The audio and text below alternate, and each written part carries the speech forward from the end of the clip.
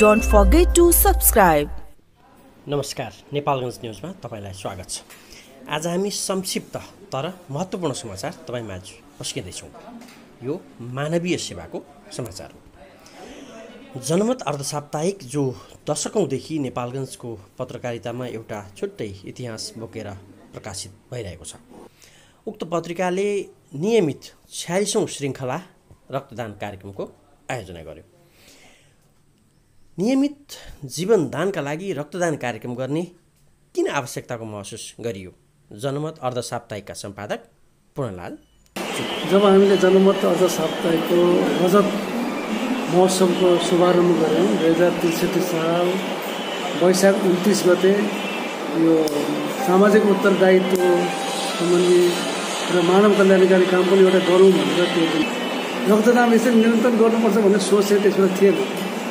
जब रक्तदान कार्यक्रम हामीले गऱ्यौँ त्यसपछि रगतको अभावमा छटपटिएका गाउँघरबाट दूर दराजबाट आएका व्यक्तिहरू जसले रस रगत नपाएर छटपटिरहेको छ अस्पतालको बेडहरूमा त्यसपछि हामीले सोच्यौँ कि हरेक तिन तिन महिनामा चाहिँ हामीले गर्छौँ। भनेर चाहिँ हामीले यसलाई चाहिँ निरन्तर हामीले अहिलेसम्म कति पिँढी रक्तदान गरियो?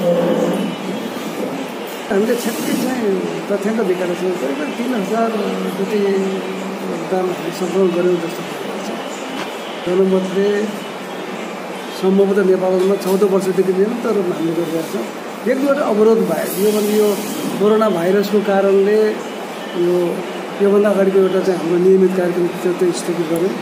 र योभन्दा अगाडि एउटा द्वन्द्वको क्रममा माओवादीहरूको चाहिँ अवरोधको कारणले एकपल्ट गऱ्यौँ त्यो बाहेक चाहिँ हामीले निरन्तर रूपमा त हरेक तिन महिनामा चाहिँ कार्यक्रमको आयोजना गर्दै गरेका छौँ। र यो साथसाथै हामीले रगत प्रत्येक व्यक्तिले स्वस्थ व्यक्तिले हरेक तिन महिनामा चाहिँ रगत दिँदा स्वास्थ्यमा कुनै किसिमको चाहिँ प्रतिकूल असर पर्दैन भन्ने एउटा स्वास्थ्य विज्ञानले प्रमाणित गरेको कुरालाई पनि हामीले निरन्तर रूपमा यसलाई चाहिँ सचेत गर्ने चाहिँ काम हामीले गर्दै आएको छौँ।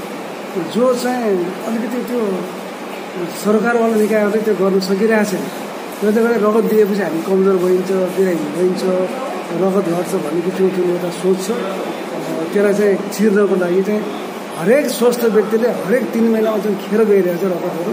नयाँ रक्त कोषाहरू चाहिँ कोशिकाहरू चाहिँ तयार हुन्छ शरीरमा। हरेक तिन महिनापछि दिँदाखेरि शरीरमा कुनै असर पर्दैन। जबकि एक पोइन्ट रगतले मान्छेको बसेको चाहिँ जिन्दगी जीवन बच्न सक्छ